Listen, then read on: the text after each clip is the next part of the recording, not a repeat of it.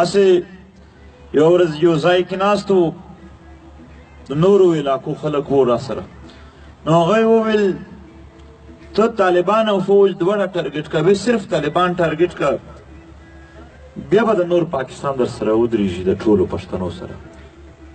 ما ورته مونږ خو د دواړو خلاف یو چې ظلم کوو خو هسې تا نه تپوس کوم چې ملاله خو صرف طالبان ټارګټ کړی وي هغه آیا تاسو د پاره اکسپټیبل و نه تاسو خو د هغې پر راتګ باندې هم بلیک ډې منع وکړه تاسو د هغې پر راتګ باندې هم بلیک ډې منع وکړه نو دغې معنا دا ده چې پښتون یو آیکن یو انټرنیشنل آیکن په هیڅ صورت قبول نه دی اول به نه جوړیږي که جوړیږي پروپاګاندا وکړه د دوی سره څومره وسایل دي هغه ټول د دې شي د پاره استعمالوي چې په پښتنو کې څوک دومره نشي جوړ چې ټول پښتون کام په اعتماد وکي او زمانہ د خپل حق تپوس وکي دوی اوس هم د پښتنو د مسائل چې کوم پی ټی ایم ورته راوړي دي د هغې په حل کولو باندې کوشش نه دی شروع کړی بلکې د ملک خزانه لوټ کوي او یو نوی تنظیم یې جوړ کړی دی چې په جلسه ته په راتګ باندې ورته دوه دوه زره درې درې زره روپۍ هر کس ته ورکوي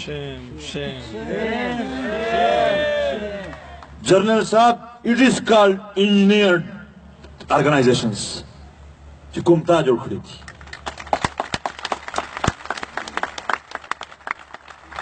د طالبانو مشران یې د سټیج نه تقریرونه کوي او خلک په مختلفو طریقو سره راولي څه شي دپاره چې هغه خوندې مندې چې په پېښور شي ستاسو د ځوانانو ته جړاګانې کولې چې هغه جړا بند شي هغه نه اورېدل شي د هغې دپاره چا اصل زمونږ په پښتنو کښې یو کول دی چې د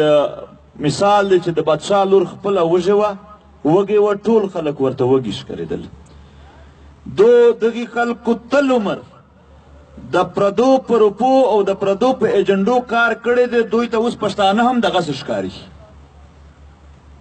دوی خپل که دلته جنګ کړی دی که